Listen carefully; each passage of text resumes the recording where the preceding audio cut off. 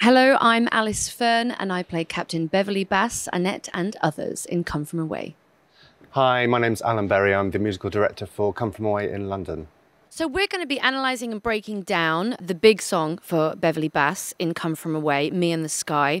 It is a storytelling song in which she describes pretty much her whole life in a synopsis, um, leading up to the terror attacks on September the 11th in 2001 in the context of the show, we've just come out of uh, Screech, uh, chaotic uh, pub scene where everyone's been screeched into Gander, and then we sort of hone in, into Beverley sitting, sitting on this uh, chair to begin her story. Um, so uh, that's where we're at right now.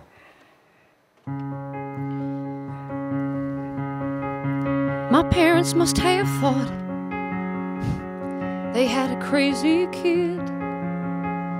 Cause I was one of those kids always knew what I wanted. They took me down to the airport to see all the planes depart and watching them fly. Something inside of me was starting. I was eight when I told them that I'd be a pilot. But I was too young and too short, and there were no female captains. And my dad said, Be patient, he said, just see what happens. But I took my first lesson, came down from the sky, and told my father I'd fly for the rest of my life. That first verse, what I always liked when um, I was auditioning for you, Alan, back in the mm. day, um, many years ago now, was the uh, I was told, you know, to make sure it, it, make it very conversational, make sure that it came across that I was telling a story, a life story, um, and it wasn't necessarily a song, even though it is. And I think how I looked upon that and how I tried to create that um, for the team and myself was to make sure that you you actually do lead into it with almost like a conversation, almost like a monologue uh, that just happens to be set to music. With that, I think if I were to think as a singer, you have to start cutting things off a bit shorter, um, maybe taking away a little bit of your vibrato here and there, so that really it feels like you're just singing it. You're you're not really singing it. You're speaking it to a tune. So instead, uh, I could, for instance, go, "My parents must have thought," you know, and start to sort of embellish it a little bit more. Whereas what we wanted to do is strip it back, make sure it feels like I just happen to be speaking to someone and telling them my story. My parents must have thought, so it's actually much, much simpler. Do you agree mm. with that, darling? I do, absolutely. I think there's certain elements of the orchestration though as well, and the way that uh, uh, you, the, the, the, instruments that are used. We've got um, just a really simple guitar line, which doesn't get away with the storytelling at all. It's just very basic, sort of monotonous almost. And also that, as Alice has just said, in terms of the simplicity of the melody, it's contained within an octave. Um, you know, there's nothing uh, embellished about it. It's just very simple. It just makes way for, you know, just clarity of storytelling. And I got my first job flying for a mortician in a tiny bonanza, just a corpse and me, five dollars an hour. For flying dead bodies, I had to climb over their faces just to get to my seat. But suddenly the wheels lift off, the ground is falling backwards. I am suddenly alive. Suddenly I'm in the cockpit. Suddenly everything's changed.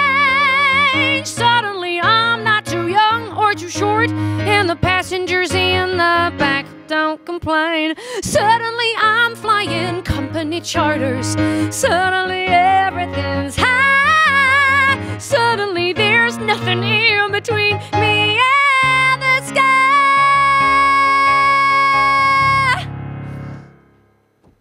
In this section, I'm actually uh, sat down on the, the table and chairs sitting down when you're singing a song is kind of okay if you're supporting the same way. Really, what you don't want to do is like constrict your diaphragm and sort of like hunch over like that. That's when you start to really sort of notice that your breathing isn't the same and your support network isn't um, the same to support your voice. So, as long as you're sort of sitting down and that is all sort of pulled up and okay, then you can sort of survive the seated version of this song. It is quite hard if you've got a really huge note at the end like that, but I mean, there is a, an aspect to singing something in. And once it's kind of in there and in the voice and you know what you do, there is so, you've got really so much has to go wrong for you to get that wrong really um, because you can sort of do it almost half asleep to the point because your body is so used to controlling that um, but it is very different. You do have to make sure that you, uh, when you're learning it and when you're going from the beginning and when you're starting the run, that you've got all that and you're always thinking about all of that so that it becomes then second nature to your body. Um, and in terms of this section now, uh, for me, what starts to happen when you're telling a story as just a, a, person, if you're telling someone else a story, what you tend to do is you start to animate it. You start to try and find a way that people will stay engaged in the story, um, because it, you know, a long story can get quite monotonous sometimes, and so you have to kind of keep making sure that everyone is really focusing in on you. Um, oh, this is really good, and you've got to make sure that you're keeping everyone's attention in the story, and that's my job as as telling the story and also as the singer, making sure that everything that I'm telling is is a new thought, but also, oh, you really want to hear this. And so you're keeping that audience in with this story, not only just because it's a lovely song, but because it's really important to hear every aspect of her life. If you don't, you lose a little bit of why of what drives her um, you have to get from this song and from her whole show, really, but specifically from this from this song, you have to get how much aviation and flying means to her. Um, and so all of this that she's telling you about the animation, um, the the history of where it all started and what she felt when she first saw a plane, uh, what she felt when she first flew a plane, is really important to. Um, show how she felt about that and animate that um, because then you get the payoff at the end as an actress. Mm. Yeah, just to sort of lead on from that, the more sort of um, the music, musical sort of side of it as well. Um, the repetition of the word suddenly, I think it, it, actually happens. You know, you know, putting this point across. Um, there's a, there's a real. Uh, there's, it happens eight times in, in 20 bars, um, so it just it just keeps coming back. Um, just to emphasise that, um, uh, we also get sort of a change of harmony as well. So something sort of, you know, something's bubbling underneath, something's about to happen, the story's moving forward, type thing. So uh, yeah, that's the kind of this. That's what happens in this section. American Airlines had the prettiest planes. So I applied as a flight engineer. But the World War II pilots, they all complained. They said girls shouldn't be in the cockpit. Hey, lady, hey, baby, hey, why don't you grab us a drink? And the flight attendants weren't my friends back then, and they said, Are you better than us, do you think? With this section, uh, it's like what I would suppose we call the second verse, um, and we she sort of disappears into her thoughts of what it was like when she was first training uh, to be a pilot. But I think what I love so much about the first line of that is that her thoughts of when she was flying, when she was learning to be a pilot, were breathtaking, almost taking her breath away when she thought about the planes that she was getting to fly.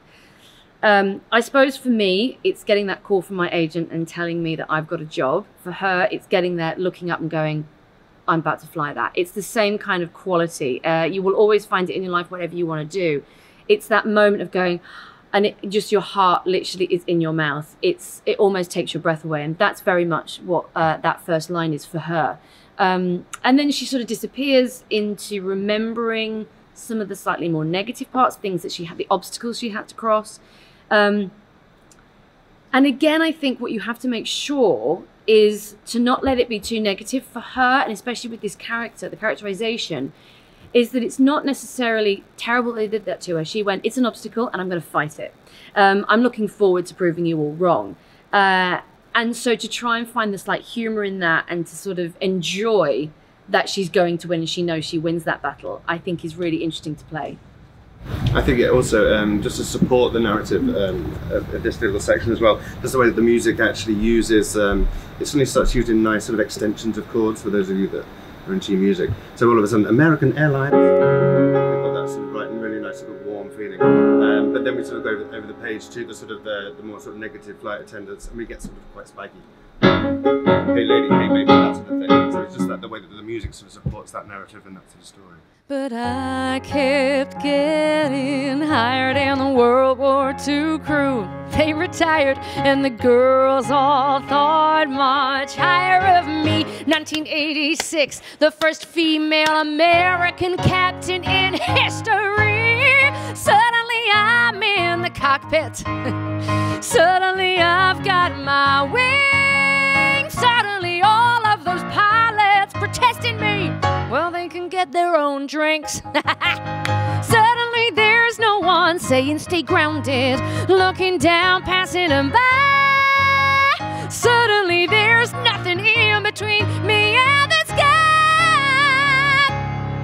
This next bit, as you can probably hear, it starts to get a little bit more dramatic. The music starts to build, the, the, the volume, the energy. Um, and also the pitch of the song itself goes up. And that is, I think, to emphasize how it's so many things really. Firstly, the story and what she's telling, it's getting she's getting to the real crux of it now, where she achieved what she wanted to achieve. And so that has to marry with the voice. And the best songs I think in musical theatre are the ones that do that. You don't have to really work hard to achieve so the emotional, if it gets if it if it raises an emotion, whatever that emotion is, the volume and what you have to do with your voice will match it. You don't really have to work hard at that and this is what this song does for me naturally. I don't have to try particularly hard to get the energy to get the emotion across. It's almost doing it and helping me and wanting me to, and let me join in with it. She's talking about when she achieved everything that she's ever dreamt of achieving and you get the big notes and the big riff at the top. Uh, absolutely. The flight attendants join in on stage at this point, come out of their chairs and come and join Beverley on stage, uh, clapping and uh, maybe applauding that she, you know, become the first female pilot, and joining with uh, backing vocals as well, which is just simple. It's a very simple chordal three-part harmony. There's nothing, extend, no extensions or funky bits going on. It's just this, this lovely harmonic cushion um, just to really build the intensity. And then we obviously uh, reach the, the big note, which is the climax of the song. It's just this outpouring of joy, um, which is very exciting each, each night.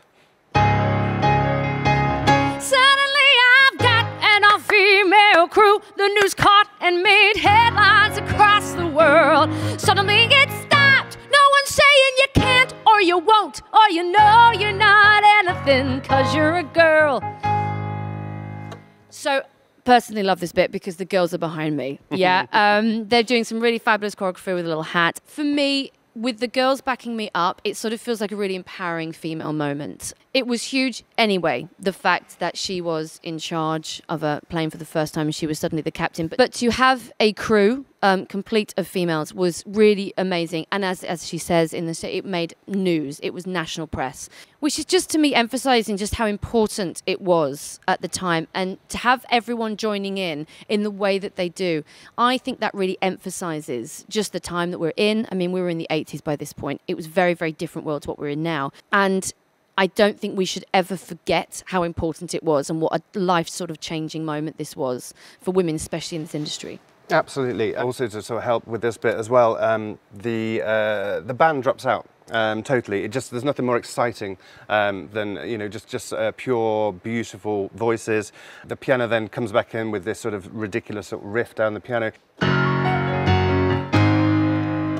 I think it's just all uh, just all sort of joyous and celebration. This this bit feels like, and the girls as well as they've been doing sort of oohs and ahs underneath beforehand, but they join in. No one's saying that you can't you won't, you know, they kind of join in those specific words. It's just really quite a powerful, powerful moment when they suddenly, suddenly join in with the actual lyrics as well. Suddenly I'm getting married, and we're putting pins on the map where we've flown.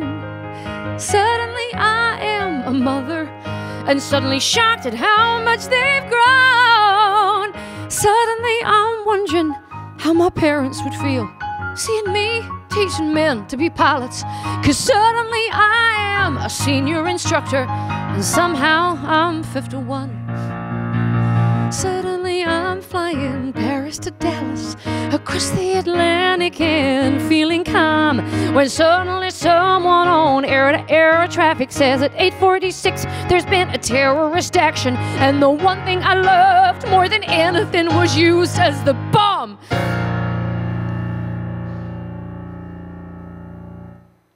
Obviously, um, leading up to the very end of the song now, she's racing through the rest of her life, quite literally. The most important thing of her life here is this, the fact that she became a pilot and what that meant to her. She then says the things that, you know, a lot of people go through. She gets married, she has kids. But it comes back to, and really importantly, it comes back to, I think, the moment that changed her life completely and the most forever, uh, which was the moment that the thing she loved, in a way more than anything, uh, was taking away for when she saw the Twin Towers be hit to say, to call the things she loved, the airplanes, the bomb, is is a dagger to the heart for her. And I think that's what's so amazing about the orchestration, the music of this, is that she says bomb and it's out. you know it's like it's a drop we have to know that that her that her life her heart dropped out of her at that moment when she saw that which is why i think it's so brilliantly written Mm, absolutely. We get we get um, this this huge bit. There's sort of two builds, and this it quite happens quite a lot in this show. We do sort of an eight bar section. Um, this sounds really clinical after what Alice just said, but it, it, it, just all supports this. We get sort of a 12 bar section, then dynamically we drop again, and we sort of then we build again. It's these sort of like terraced dynamics that we get all the way through, and then we finally get to the word bomb and I think the way that Alice de delivers it, it comes from left field every single night, doesn't it? We don't anticipate, we don't slow down before it. It just, we, we have a breath and there it is. And this huge B minor chord, which is a hugely um, dark key anyway, uh, just rings throughout the auditorium. And we kind of leave it as long as we dare, just to sort of, before we go into the final section. Suddenly, I'm in a hotel Suddenly something has died. Suddenly there's something in between me and the.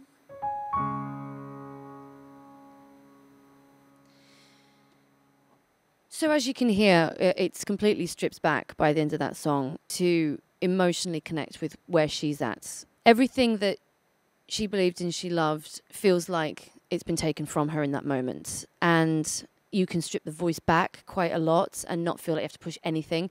Quite often on some nights, I can't even say the word died. Like, for instance, something is died. And then it becomes very breathy. And, and when things like that happen, actually, I embrace it because I think uh, it only adds to the emotional aspect from my point of view, but also from the audience.